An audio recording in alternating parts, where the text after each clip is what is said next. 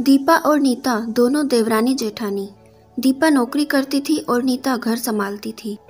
भरा पूरा परिवार था। सास ससुर, दोनों के दो बच्चे, कुल दस लोगों का परिवार। कई सालों बाद दोनों की बुआ सास कुछ दिन अपने भाई के पास रहने आई। सुबह उठते ही बुआ जी ने देखा, दीपा जल्दी जल्दी अपने काम निपटा रही थी। नीता ने सबका नाश्ता टिफ़िन बनाया, जिसे दीपा ने सबको परोसा। टिफ़िन पैक किया और चली गई ऑफ़िस। नीता ने फिर दोपहर का खाना बनाया और बैठ गई, थोड़ा सास और बुआ सास के पास। बुआ जी से रहा नहीं गया। बोली, छोटी बहू, तेरी जेठानी तो अच्छा हुक्म चलाती है तुझ पर।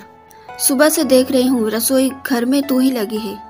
और वो महारानी दिखावा करने के लिए सबको नाश्ता परोस रही थी, जैसे उसी ने बनाया हो। नीता और सास ने एक दूसरे को देखा। नीता बोली, नहीं, ऐसी कोई बात नहीं है बुआ जी बुआ जी बोली, तू भोली है, पर मैं सब समझती हूँ।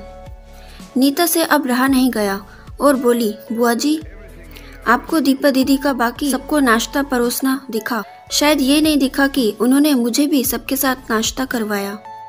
मुझे डांट कर पहले चाय पिलाई। नहीं तो सबको दिखाने और टिफ़िन पैक करने के चक्कर में मेरा नाश्ता तो अक्सर ठंडा हो जाता था, या मैं खाती ही नहीं थी। दीदी सुबह उठकर मंदिर की सफ़ाई करके फूल सजाकर रखती है तो मम्मी जी को पूजा करने में अच्छा लगता है। मैं तो नहाकर आते ही रसोई में घुस जाती हूँ। शाम को आते हुए दीदी सब्ज़ियाँ भी लेकर आती है, क्योंकि आपके भतीजों को काम से लौटते देर हो जाती है, तब ताजी सब्ज़ियाँ नहीं मिलती। ऑफ़िस में कितनी मेहनत करनी पड़ती है। फिर ऑफ़िस में काम करके आकर रात को खाना बनाने में मेरी मदद भी करती है। वो मेरी जेठानी नहीं, मेरी बड़ी बहन है। मैं नहीं समझूँगी तो कौन समझेगा? बुआ जी, चुप हो गई। शाम को दीपा सब्ज़ी की थैली नीता को पकड़ाते हुए बोली, इसमें तुम्हारी फेवरेट लेखक की किताब है, निकाल लेना। नीता खुश हो गई और बोली थैंक्स दीदी। नीता ने सब्ज़ी की थैली किचन में रखी और किताब रखने अपने कमरे में चली गई। बुआ जी ने दीपा को आवाज़ दी, बड़ी बहू, यहाँ आना। दीपा बोली, जी बुआ जी बुआ जी बोली, तुम इतनी मेहनत करके कमाती हो और ऐसे फालतू किताबों में पैसे व्यर्थ करती हो। वो भी अपनी देवरानी के लिए, वो तो वैसे भी घर में करती ही क्या है? तुम दिन भर मेहनत करती हो और वो घर पर आराम। दीपा मुस्कुराई और बोली, आराम? नीता को तो ज़बरदस्ती आराम करवाना पड़ता है। सुबह से बेचारी लगी रहती है किचन में, सबकी अलग अलग पसंद। चार बच्चों का टिफ़िन सब बनाती है, और वो भी प्यार से। सुबह की चाय पीने का भी सुध नहीं रहता उसे। दोपहर को जब बच्चे आते हैं, फिर उनका खाना, उनकी पढ़ाई, सब वही देखती है। वो है इसलिए मुझे ऑफ़िस में बच्चों की चिंता नहीं रहती। मैं अपना पूरा ध्यान ऑफ़िस में लगा पाती हूँ। कुछ दिन पहले ही प्रमोशन मिला है। मम्मी पापा की दवाई कब खत्म हुई, कब लानी है, उसे ही पता होता है।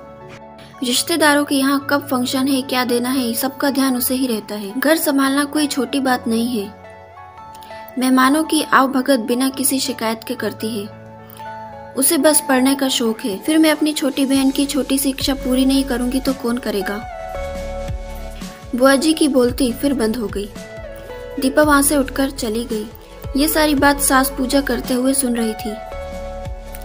बुआ जी के पास आकर बोली, जीजी ये दोनों देवरानी, जेठानी सगी बहन जैसी है और एक दूसरे का अधूरापन पूरा करती है। मेरे घर की मज़बूत नींव है ये दोनों, जिसे हिलाना नामुमकिन है।